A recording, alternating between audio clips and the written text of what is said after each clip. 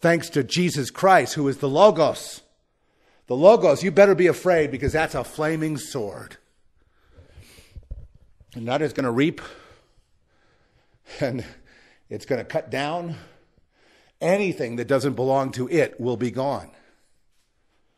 It's just that simple. And that's what the word does when you handle the word. Yes, yes, the Bible has been called the word, but it's only the word for those vessels that were chosen and of the faith.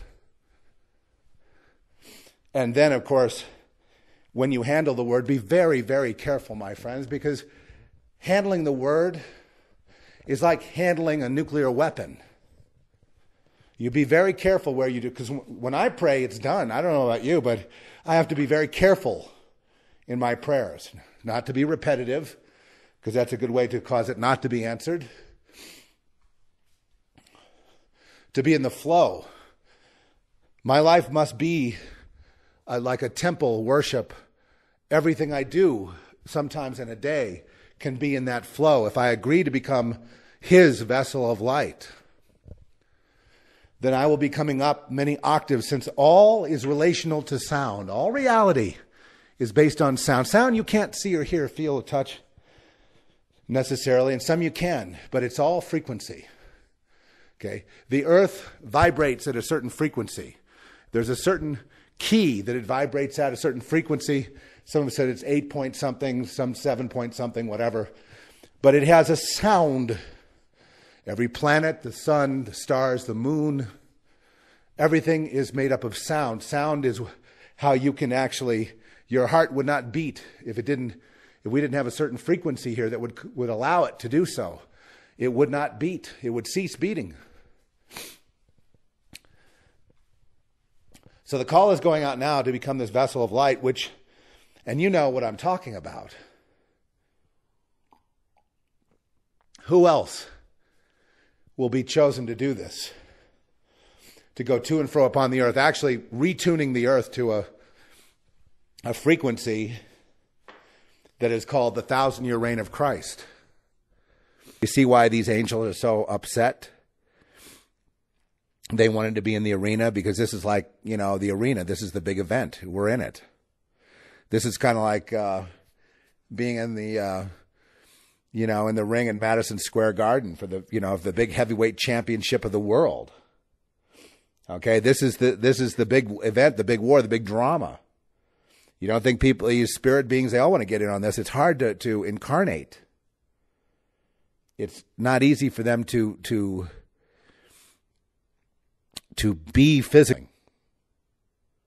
They can fly from here to there, boom, boom. You know, like how uh, you know, like translation. We've seen that in the Bible, where we have translation. Like you, you're you're there at the river. The next moment, you're in, you're in a city 500 miles away. This is this is called spiritual flight. It happens to vessels of light. This is the kind of thing when the when the Bible says going to and fro. This is kind of, you know, you got a glimpse of what it really means. But again, like with Paul, you get a glimpse with Paul. He says he's been to the third heaven which means he's been smack dab in the middle of what I'm talking about. But he couldn't really stay there. That's why you have all the focus to become on the earth. Like with all those planets, wouldn't there be all kinds of other life and all this evolution and everything? Well, there's your mystery. What if the entire universe was created to play out this drama right here, right now, and you're a really important part of it? Yeah?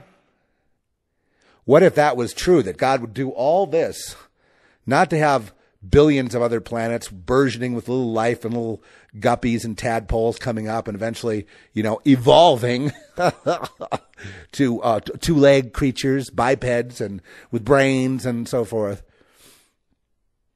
The brain is an access point to the to the transformation process, meaning to return to who you really are. Dense crap identifying with the physical rather than the spiritual. You know, wondering about um, people, you know, following me, even though uh, every time the Lord, you know, my angels have taken care of it. you're not my angels. I mean, you're assigned to me. But let's say this that you've swatted them down at every turn. So why shouldn't I just go with that and say, okay, I've got a That mechanism, you know, not worry, oh, one day it might not be there. It's been there since I was a baby, so I guess it's going to be there. If God wanted me out of here, he'd take me out of here and it wouldn't be there.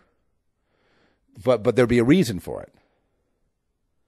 Therefore, I have nothing to worry about. There's no reason I can't just move forward into being a vessel of light rather than a vessel of darkness, into emancipation, which is the graduation into the supernatural, you know, which the occultist and the spiritualist, they're just dying to, they're so jealous of you because they know they were not chosen and they have to jimmy themselves in there.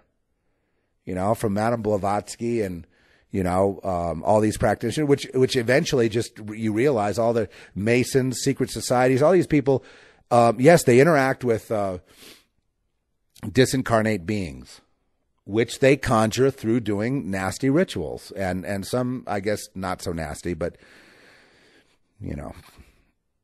Um but still they're locked at the gate. They can't get further than that. Some of them you know have have maybe become like Nimrod and become sort of like them and been have powers that they can show you. But all they're going to say in the end is the material trumps the spirit. And they'll have all these powers say you can have all these powers but still as long as you agree to bow down to flesh and not spirit you know, that's what it comes down to: flesh, spirit. Symbolically, flesh, Satan, spirit, God. You know, but that's not really uh, explaining it all.